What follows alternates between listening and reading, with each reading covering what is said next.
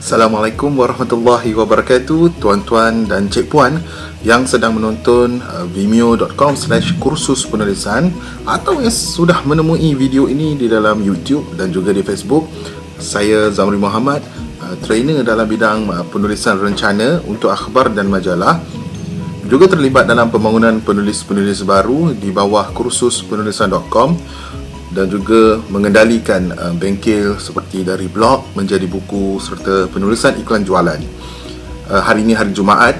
Uh, sebelum itu, sebelum saya berkongsi tip untuk tuan-tuan dan cik puan, uh, saya ingin ucapkan terima kasih kepada rakan-rakan uh, teman-teman dan juga saudara-saudara juga rakan-rakan di Facebook yang meluangkan masa yang memperuntukkan sebahagian daripada hari Ahad untuk bersama-sama di dalam uh, bengkel penulisan yang lalu. Hari Sabtu sebenarnya. Hmm. Okey uh, terima kasih kepada mereka yang hadir pada 15 hari bulan yang lalu di mini workshop uh, tip menjadi penulis bestseller. Dan kehadiran tuan-tuan serta cik puan ke bengkel tu sangat memberi inspirasi dan memberi dorongan yang sangat besar kepada rakan-rakan penulis yang lain untuk berkarya dan juga menghasilkan buku-buku yang jauh lebih baik daripada semalam. Okey, uh, untuk tip kali ini uh, saya berminat untuk menyentuh tentang apa yang berlaku pada khutbah Jumaat hari ini.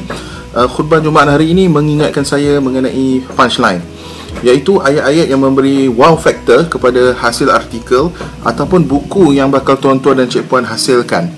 Uh, di dalam khutbah hari ini menyentuh tentang uh, pendermaan organ di mana dalam tempoh 20 minit uh, khutbah Jumaat disampaikan uh, khatib yang membaca khutbah tadi memberi satu ayat yang membuat para jemaah berfikir tentang kebaikan yang terakhir apabila kita mati. Saya petik dia mengatakan bahawa um,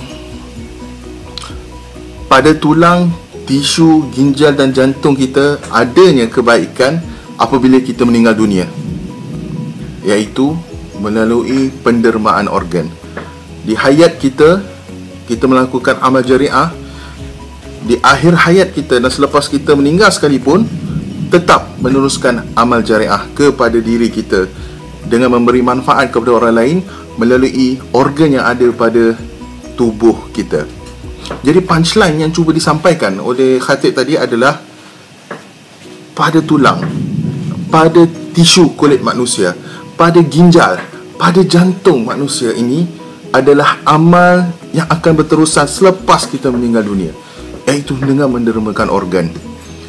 Jadi untuk tips kali ini tuan-tuan dan cik puan dalam penghasilan uh, tulisan rencana ataupun buku uh, perkara yang paling penting adalah mengenal pasti apakah ayat-ayat apakah frasa apakah perkataan yang kita boleh hasilkan sebagai punchline di dalam buku dan juga rencana.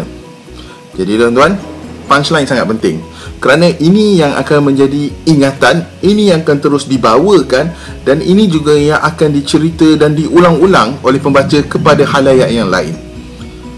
Jadi sentiasa berfikir apakah punchline di dalam karya kita? Jadi tuan-tuan terima kasih kerana menonton dan ikuti lagi video-video yang seterusnya dan terima kasih kerana menonton video-video yang sebelum ini uh, terus layari www.kursuspenulisan.com saya Zamri Muhammad menantikan email ataupun respon serta jika mereka yang berminat untuk menghadiri kursus www.kursuspenulisan.com selamat berkarya dan selamatkan memandaikan bangsa kita jumpa lagi. Assalamualaikum